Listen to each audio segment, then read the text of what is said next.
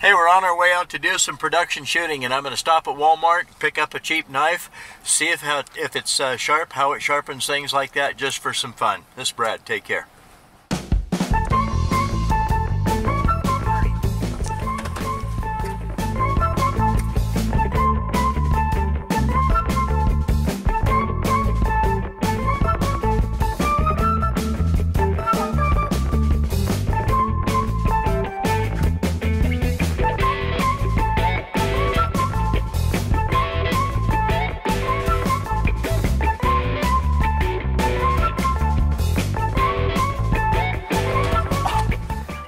So cool.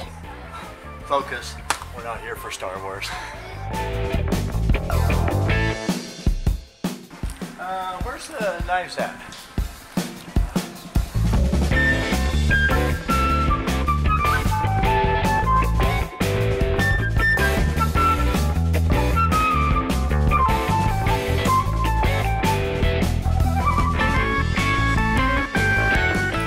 Got it. Now we go do it.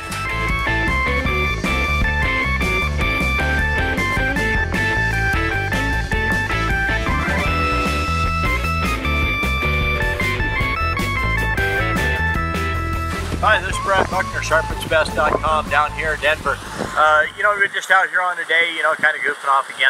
You know, went over to Walmart, bought a knife. Uh, we're just going to check it out, see how it cuts, you know, a little bit about it things like that. It's got a three and uh, three quarter inch blade on it. And, um, excuse me, two and three quarter inch blade. And so it's this one right here.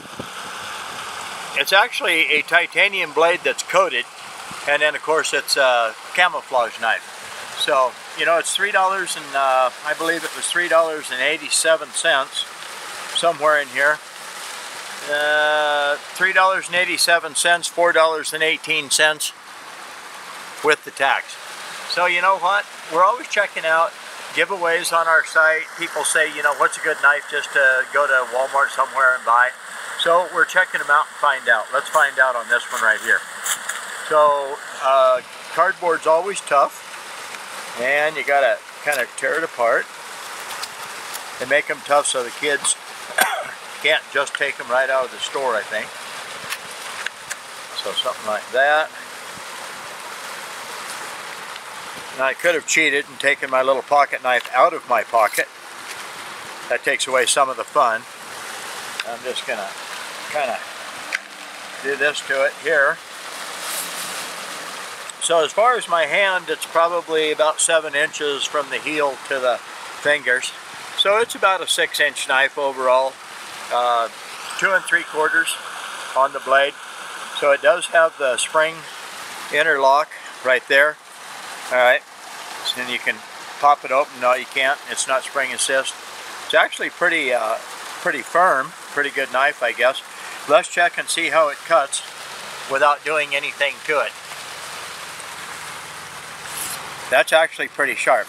I'm a little bit amazed that it's uh, that sharp. We can maintain the edge for sharpness or make it even a little sharper.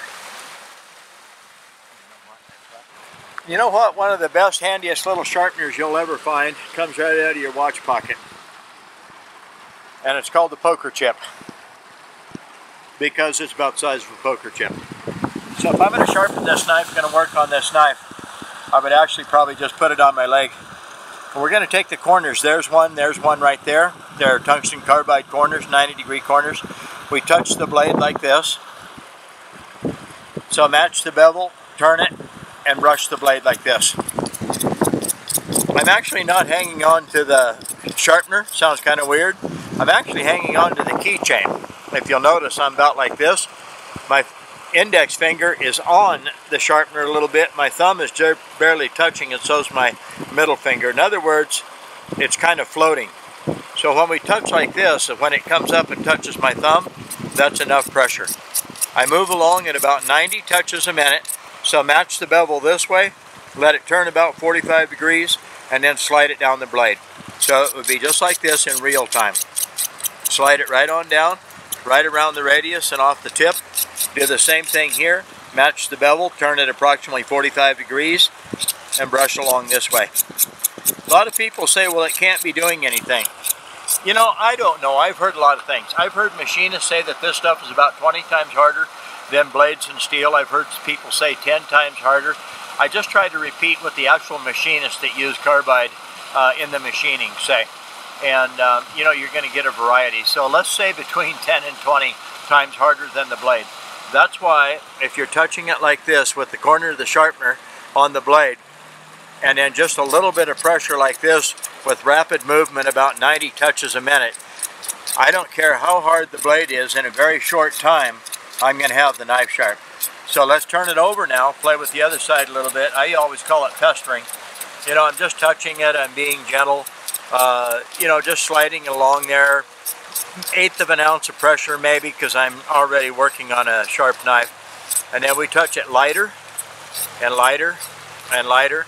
And now it's really kind of floating like that. Flip the knife every pass. Now I'm just polishing on the wire edge. When I get done with the knife, there is no wire edge sticking out there. Okay, let's uh, try it now and see what we have. You've seen it before. That is smooth. That's really smooth. Right out to the tip. And I'm just pushing it through. We're not we're not slicing and and pushing the knife sideways and all that. That's right out to the tip sharp. Push it through just like, oh, the little pigtail. There you go. Just like that.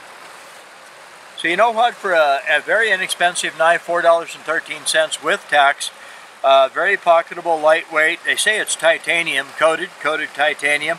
It's a, camouflage handle. It's just about the right size. That'd be actually a very nice knife to carry. So you just move your uh, lock, fold it up like that. When you get ready to use it again, take your thumb, give it a flick. There it is. This is Brad, sharpensbest.com. Take care and have a really good day.